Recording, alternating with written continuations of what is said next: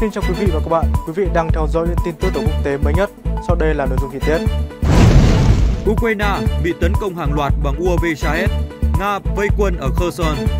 Chiến sự Nga-Ukraine ngày qua vẫn nóng ở các chiến trường miền Đông và miền Nam. Ukraine tố Nga dùng máy bay không người lái UAV Shahed tấn công hàng loạt ở Ukraine. Trong khi đó, Moscow nói Ukraine dùng UAV nhắm mục tiêu nhiều nơi. Ukraine vượt sông Dnipro hướng tới Crimea, nỗ lực lôi kéo sự hỗ trợ của Mỹ. Ukraine đang rất muốn tạo ra bước đột phá mới để khẳng định cuộc xung đột không hề bế tắc và nhằm đảo ngược xu hướng suy giảm hỗ trợ của Mỹ. Nhưng tạo bước đột phá là điều không dễ dàng. Mở trung tâm huấn luyện phi công F-16 ở Romania, nguy cơ xung đột lan rộng. Romania vừa khánh thành trung tâm huấn luyện phi công F-16 mới, phục vụ Ukraine và các đồng minh NATO của Bucharest. Theo các nhà quan sát, các cơ sở mới mang lại cho khối phương Tây thêm lợi ích là có thể huấn luyện ngay bên cạnh lãnh thổ Nga. Điều điều này có khiến nguy cơ xung đột lan rộng. Lý do Hamas hầu như không xuất hiện cản bước quân đội Israel. Mặc dù phong trào Hồi giáo Hamas có số thành viên lớn, nhưng khi quân đội Israel mở chiến dịch trên bộ ở giải Gaza, hầu như không thấy các chiến binh Hamas xuất hiện để cản bước đối phương. Vì sao lại như vậy? Sau đây là thông tin chi tiết. Ukraine bị tấn công hàng loạt bằng UAV Shahed, Nga vây quân ở Kherson.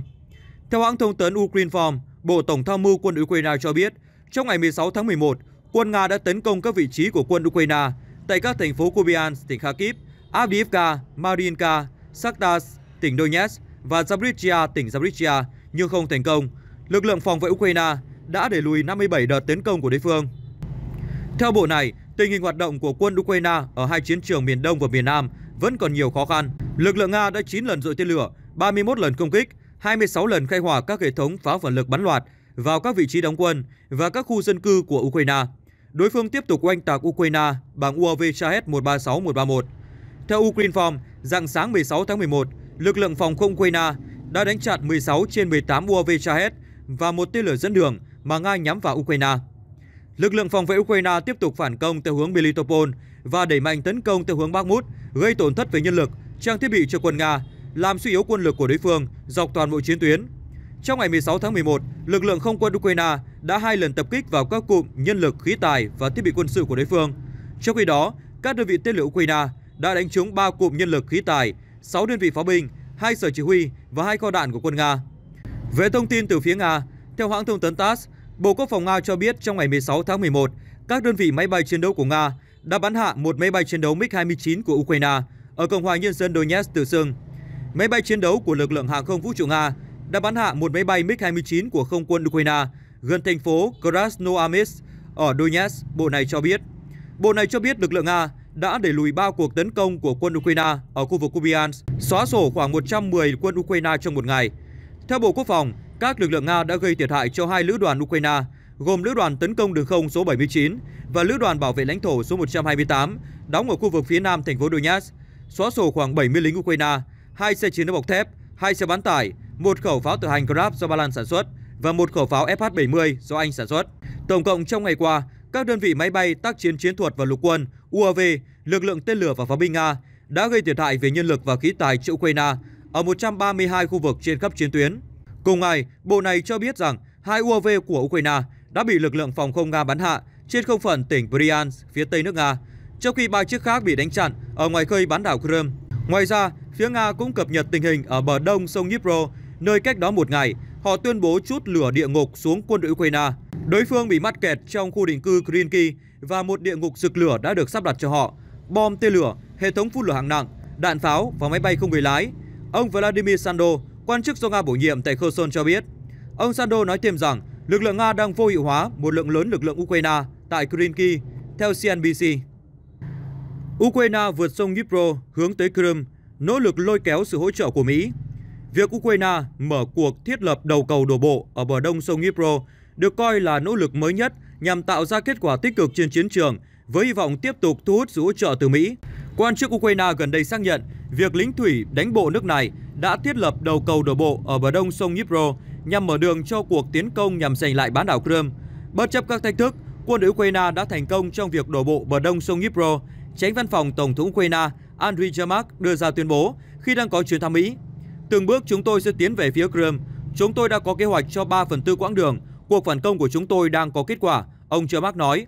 Đây là lần đầu tiên Ukraine xác nhận các diễn biến giao tranh mới tại vùng Kherson.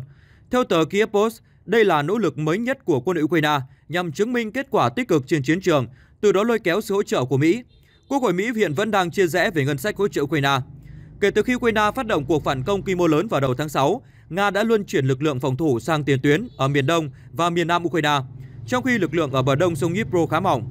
Truyền thông Ukraine cho biết, lực lượng vượt sông Dnipro gồm 300 tới 500 binh sĩ. Lực lượng này sử dụng chưa tới 20 phương tiện quân sự.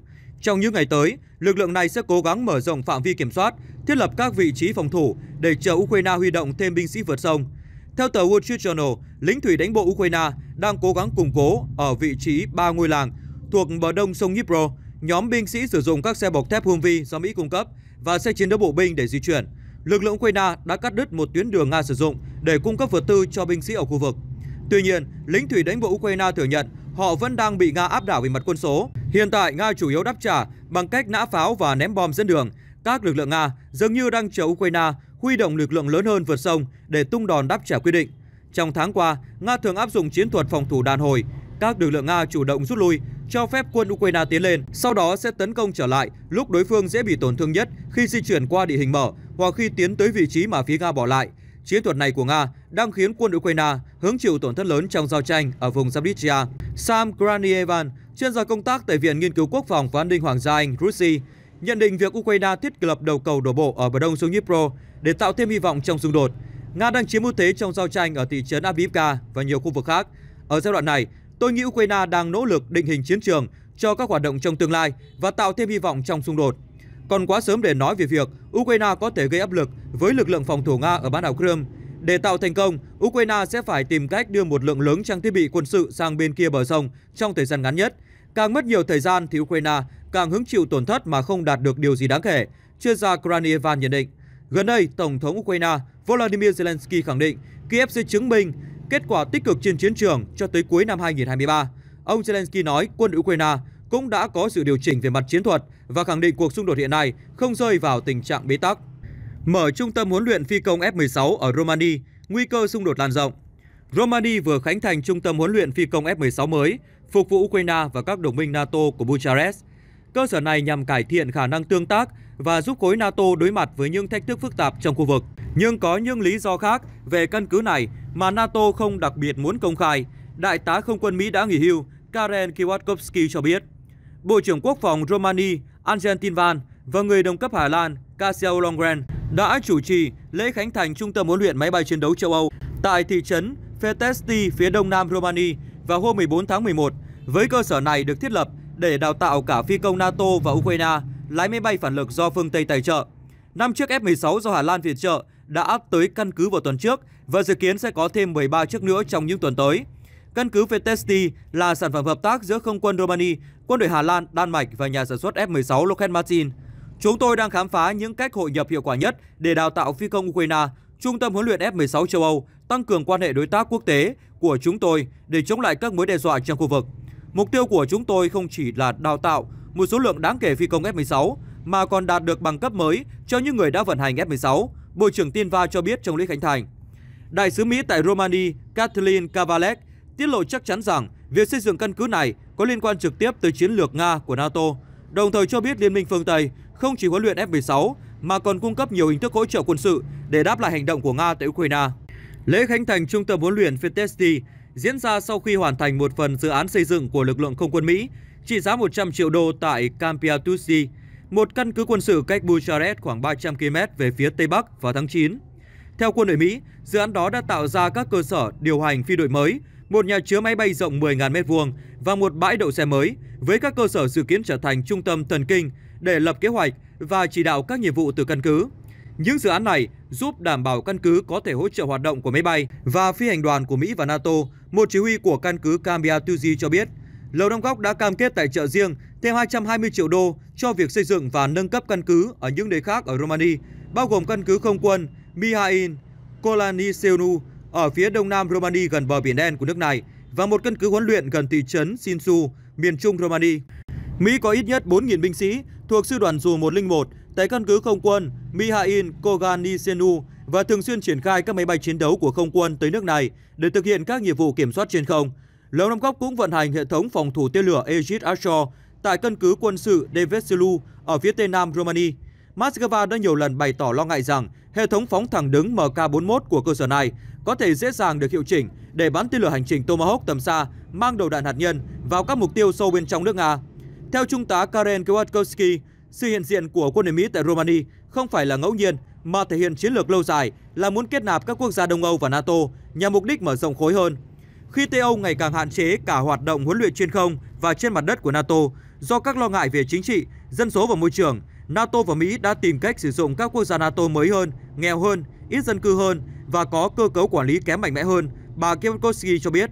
Trên hết, nhà quan sát cho biết các cơ sở mới mang lại cho khối phương Tây thêm lợi ích là có thể huấn luyện ngay bên cạnh lãnh thổ nước Nga. Trung tâm huấn luyện máy bay chiến đấu VTSD sẽ giúp NATO tập trung vào Ukraine và phần lớn Biển Đen với tư cách là tiền đồn và khu vực huấn luyện và hoạt động chính của NATO trong tương lai. Kwiatkowski nói, đồng thời cảnh báo rằng quyết định đặt trung tâm đào tạo phi công Ukraine quá gần Nga để huấn luyện sẽ gây ra một cuộc đối đầu không cần thiết về Ukraine hoặc Biển Đen giữa châu Âu và Nga. Theo Trung tá Kwiatkowski, trung tâm huấn luyện sẽ không giúp cải thiện tình hình an ninh ở Bucharest, nhưng được thành lập dựa trên các cân nhắc về tài chính, các cơ hội đầu tư và cho vay trong tương lai, cũng như lợi ích chính trị mà các chính trị gia Romani và có lẽ cả các nhà lãnh đạo doanh nghiệp cảm thấy họ đạt được khi liên kết chặt chẽ với NATO và Mỹ. Trong khi đó, sự quan tâm của Mỹ đối với cuộc khủng hoảng Ukraine giảm mạnh trong bối cảnh xung đột Gaza và cuộc bầu cử tổng thống Mỹ dự kiến diễn ra vào năm sau, nơi có khả năng một ứng viên không thân thiện với Ukraine lên nắm quyền và giao nhiệm vụ dọn dẹp cuộc khủng hoảng ủy nhiệm cho chính các nước châu Âu có vẻ hợp lý đối với các nhà hoạch định chính sách tân bảo thủ. Đối với những người châu Âu bình thường, bao gồm cả người Romani, tất cả những gì họ có thể mong đợi từ căn cứ mới tại Fetesti là nhiều máy bay chiến đấu ổn nào hơn bay trên đầu, ô nhiễm nhiều hơn do dấu chân quân sự mở rộng của NATO, nguy cơ tai nạn huấn luyện và mối đe dọa cộng đồng địa phương bị nhắm tới nếu căng thẳng với Nga leo thang thành chiến tranh nóng. Lý do Hamas hầu như không xuất hiện cản bước quân đội Israel. Theo tờ The Telegraph, trong thực tế đã có giao tranh ác liệt giữa Hamas với binh sĩ Israel và ngoài tổn thất dân thường, có cả tổn thất về Hamas và quân đội Israel. Theo quân đội Israel, hàng trăm chiến binh Hamas đã không qua khỏi trong các cuộc giao tranh ở Gaza. Quân đội Israel tuyên bố đã phá vỡ 10 trong số 24 tiểu đoàn của nhóm Hamas. Dù vậy, điều dễ dàng nhận thấy là nhiều chiến binh Hamas đã không lộ diện ở giải Gaza. Giống như nhiều tổ chức tương tự, số lượng chiến binh trong một tiểu đoàn Hamas khó có thể chỉ ở mức vài trăm người như trong các đơn vị cung cấp của quân đội phương Tây hoặc Israel. Theo quân đội Israel, trước ngày 7 tháng 10, Hamas có khoảng 30.000 chiến binh ở giải Gaza, chia thành 5 lữ đoàn khu vực và 140 đại đội. Mỗi lữ đoàn đều được trang bị rocket, tên lửa chống tăng, các đội bắn tỉa và kỹ thuật. Nhưng khi Israel tiến hành chiến dịch trên bộ ở giải Gaza, dễ nhận thấy là không có hành động quân sự trực tiếp giữa binh sĩ Israel và các chiến binh Hamas, trong khi không thể kiểm chứng tổn thất của Hamas. Một phần nguyên nhân có thể là do cuộc chiến ở Gaza không giống như cuộc chiến chống nhóm khủng bố nhà nước Hồi giáo IS tự xưng ở Mosul và lực lượng phản kháng Iraq ở Fallujah. Đây là hai ví dụ gần đây về cuộc chiến trong đô thị giữa quân đội nhà nước và các lực lượng không chính quy.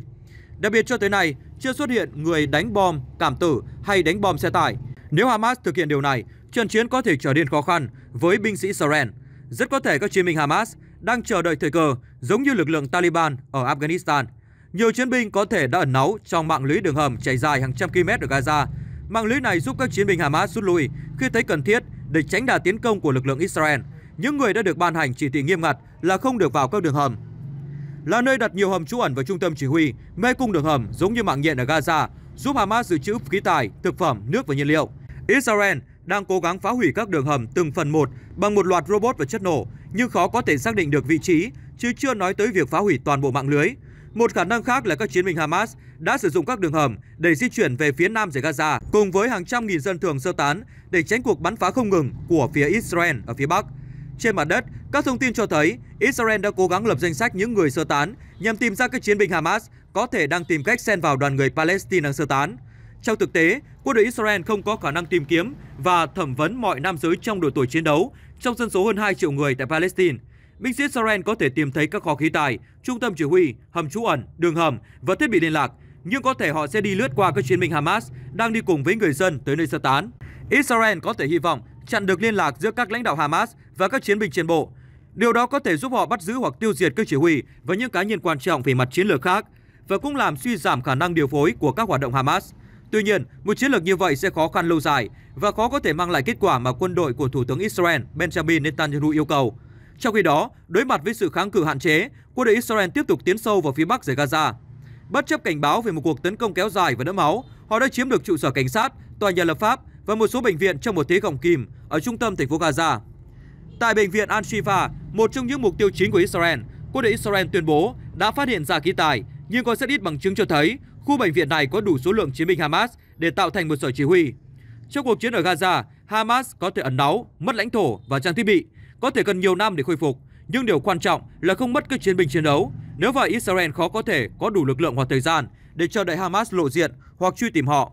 Trong khi đó, Israel tiếp tục thông báo người dân ở khu vực phía đông thành phố Khan Yunis ở phía nam giải Gaza cần đi sơ tán tới những nơi trú ẩn an toàn. Lời kêu gọi sơ tán được cho là để chuẩn bị tiến hành các hoạt động quân sự tại khu vực này. Quân đội Israel phát đi thông cáo bằng cách điều máy bay thả tờ rơi xuống khu vực từ đêm ngày 15 tháng 11 đến rạng sáng 16 tháng 11. Thông tin vừa rồi đã khép lại bản tin của chúng tôi ngày hôm nay. Cảm ơn quý vị và các bạn đã quan tâm theo dõi. Đừng quên like, chia sẻ và đăng ký kênh để tiếp tục cập nhật những video mới nhất. Còn bây giờ xin kính chào và hẹn gặp lại trong các video tiếp theo.